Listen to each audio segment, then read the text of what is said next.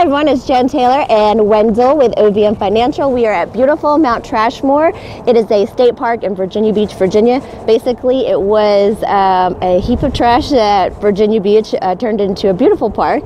But your tip for this week is something called Unroll.me. He's looking at the child rolling down the hill.